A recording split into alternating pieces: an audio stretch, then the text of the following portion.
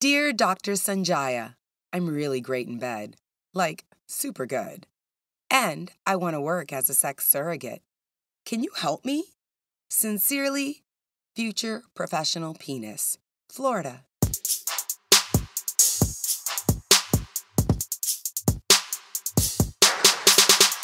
What is up, sapiosexuals? Thank you for turning on Sex in South Beach with your girl, Dr. Sonjia, America's favorite sex educator. So, the sex situation we're getting into right now is all about sex surrogates. You know, professionally trained people who physically teach other people how to improve their sex skills, confidence, and ability to engage in satisfying sexual relationships. Yes, sex surrogates use their mind and bodies to teach people about intimacy, touching, kissing, squeezing, hugging, clothes off, mouths busy, heavy breathing. Mm. And hopefully, all this work leads to an orgasm or two. You get the picture? Sex surrogates often, but not always, engage in sex with their clients. But make no mistake about it sex surrogacy is not prostitution. It is a legit way of helping some people become more comfortable expressing themselves sexually.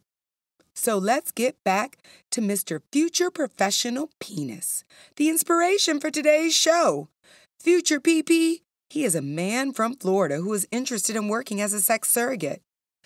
Dear Future PP, I'm very pleased to know that you are a man who is really good in bed. I assume you've been told this by your sex partners. However, if nobody has ever told you that you rocked their world sexually, I urge you to spend some time trying to intimately satisfy a partner or two before embarking on a career in sex surrogacy. And, like anyone exploring a new occupation, you should do this preliminary work for free. You know, sort of like an internship that gives you enough experience to decide if this is the career for you. Because, contrary to popular opinion, sex surrogacy is not an easy job. It is not prostitution. Also, not an easy job. But what some ill informed people associate with sex surrogacy is prostitution. However, that is completely incorrect. Prostitution and sex surrogacy are totally different professions. Let's be very clear about this. Rather than perform sexual acts for your pleasure, a sex surrogate helps adults develop the skills and confidence that is required to engage in healthy, fulfilling sexual relationships. Did you know there are tons of adults out there who are super successful in every area of their life except sexual relationships? And these are the people who hire sex surrogates. They're the successful banker who has never held someone's hand while walking down the street. Or the beautiful lawyer who doesn't feel comfortable being naked and who has never had an orgasm. Imagine that renowned artist who's traveled the world, is completely healthy, but can't stay erect when sexually excited. Or envision the female CEO whose strict religious upbringing conditioned her to believe that sex for pleasure is sinful, and therefore she's never been able to enjoy intimate satisfaction with her partner. Dear Mr. PP, these are the types of people with whom sex surrogates often work. They are intelligent and experienced in so many areas of their life, but for a variety of reasons, they have not developed the skills to engage in healthy sexual expression. And using your body and sexual expertise to help these adults improve their sex life, well, you know what? That requires real training and legitimate certification. That's why the International Professional Surrogates Association was established in 1973, serendipitously the same year I was born. But full disclosure, friends, although the International Professional Surrogates Association, we're going to call that IPSA from here on out. Well, even though IPSA and I were both born in the same year, I am not a sex surrogate. Boom! However, I was once interviewed by the news about sex surrogates, and you know what? That news segment went totally viral, so people still contact me years later for surrogate work. which, of course, I take as a total compliment of the highest level. I mean, people want me to use my body to teach them how to have better sex? Wow. Yes, Mom, I know you're proud. and though I hate to disappoint, I only use my mouth to teach people how to have sex. Specifically, I use words that come out of my mouth, which I've heard is very exciting for some people, but definitely does not qualify as sex surrogacy. According to IPSA, surrogate partner therapy involves a client, a therapist, and a surrogate partner working together to understand and resolve difficulties that a client is experiencing in their sex life. The surrogate participates with the client in structured and unstructured experiences that are designed to build client self awareness and skills in the areas of physical and emotional intimacy. Mm-hmm. Now, these therapeutic experiences, you know what? They increase the client's knowledge, skills, and comfort. And they also include partner work in relaxation, effective communication, sensual and sexual touching, and of course, social skills training. As the days pass, clients will find themselves becoming more relaxed, more open to feelings, and more comfortable expressing physical and emotional intimacy. Now, the involvement of a team therapist, a licensed and or certified professional with an advanced degree, you know, someone like me, well, this is a cornerstone of surrogate therapy. Clients often experience apprehension as they begin therapy. And when they begin to experience these changes, that's when the team therapist can really help the client make these emotional jumps that help resolve the issues that were blocking them from satisfying sexual experiences. Sessions with the therapist they're interwoven with the surrogate partner sessions in order to facilitate understanding and change. And it is absolutely essential for open, honest, and consistent communication between all members of the therapeutic team, well, it is essential for this to be occurring on an ongoing basis in order for surrogate partner therapy to be successful. So, who needs surrogate partner therapy? There's such a wide range of problems that motivate people to seek surrogate therapy. I'm talking about general anxiety and social situations to specific sexual dysfunctions. There could be issues like negative body image, physical disfigurement, medical conditions, sexual, physical, or emotional abuse or trauma, intimacy issues, phobias and anxieties, unresolved relationship trauma from the past, confusion about sexual orientation lack of social and sexual self confidence. Other concerns might include orgasmic inhibition. You know, you can't relax enough to experience an orgasm. Or ejaculatory inhibition. You can't relax enough to come. These are really common issues. Females they might also be experiencing vaginismus. You know what this is? Involuntary contraction of the vaginal muscles resulting in super painful penetrative sex.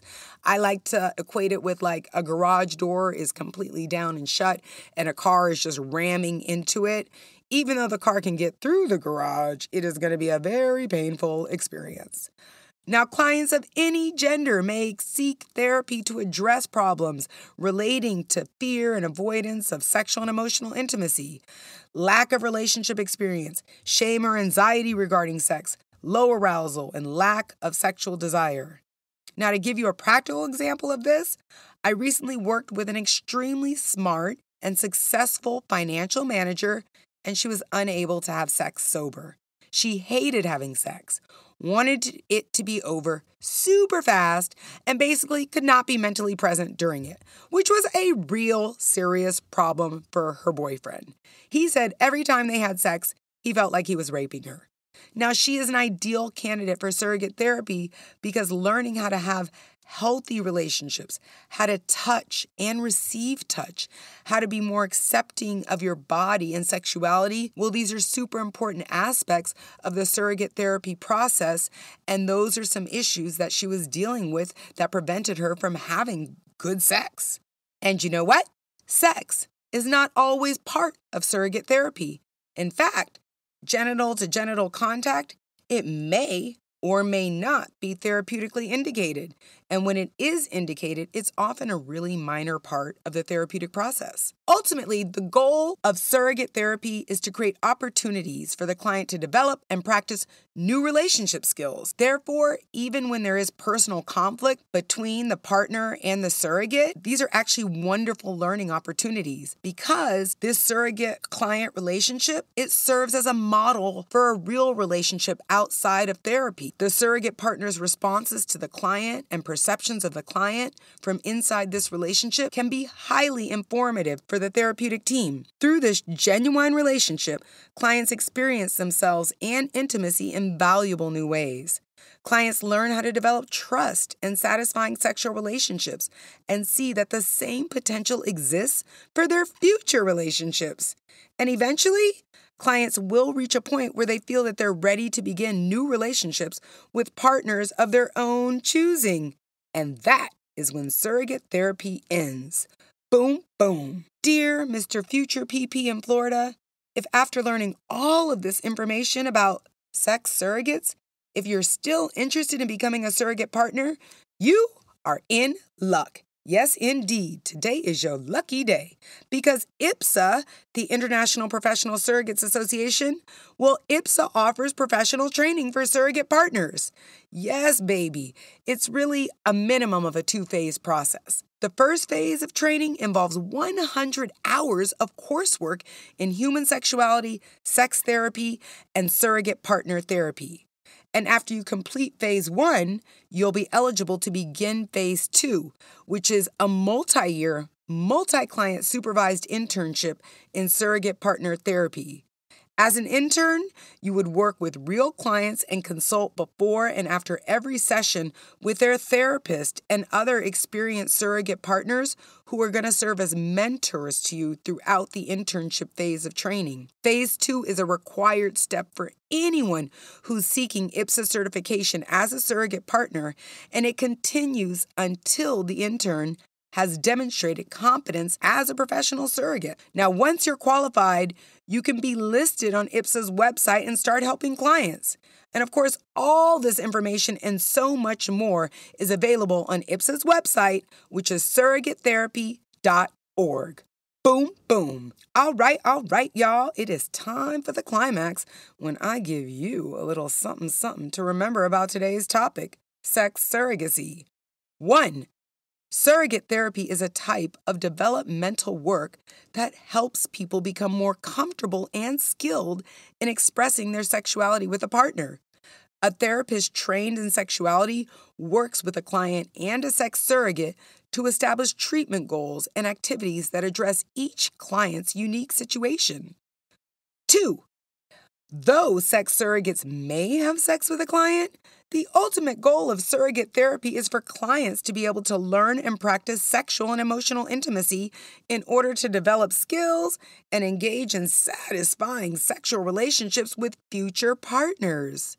And three, the International Partner Surrogate Association, IPSA, provides detailed information about finding a surrogate or becoming a surrogate and how surrogate therapy works. Their website is surrogatetherapy.com org, and you can scroll your sexy fingers there to get more info about the world of sex surrogacy right now. Back to our friend, dear Mr. Future Professional Penis from Florida. I hope today's show has answered your questions about becoming a sex surrogate. And for the rest of you, send me your questions, comments, and whatever else follow Future PP's example. I want to hear about it. I want to see it. Send me anything except a pic of your genitals. I beg you, friends, please don't send those. And if you are one of the weirdos that has already done that, please stop. I'm very specific about the genitals I look at. And baby, baby, yours did not make the list. and now that you've learned a thing or two about sex surrogates, the next natural step is to share this show with someone you love, perhaps someone who needs some surrogate partner therapy. Or maybe just to make sure you and your boo have 15 minutes of an exciting sexual conversation you should uh, listen to this with your partner because you know what? I'll be instigating you guys for 15 minutes. And what that's going to lead to is you and your boo getting into a type of a conversation you ain't never had before. I'm telling you, on that drive over to see your in laws, you know, over the weekend, you need to turn on this podcast and see how much you learn about your special someone. By the time you get to your destination, you'll both have a sexy little secret smile on your face. Mm-hmm. For your daily dose of Nookie knowledge, check me out on all the social media networks. That's D R S O N J I A on Instagram, Facebook, Twitter, LinkedIn. Come on, baby, you know it's time for you and Dr. Sonjia to link up. Mm-hmm. Thanks so much for tuning into Sex in South Beach, where everyone comes for happier, healthier sex.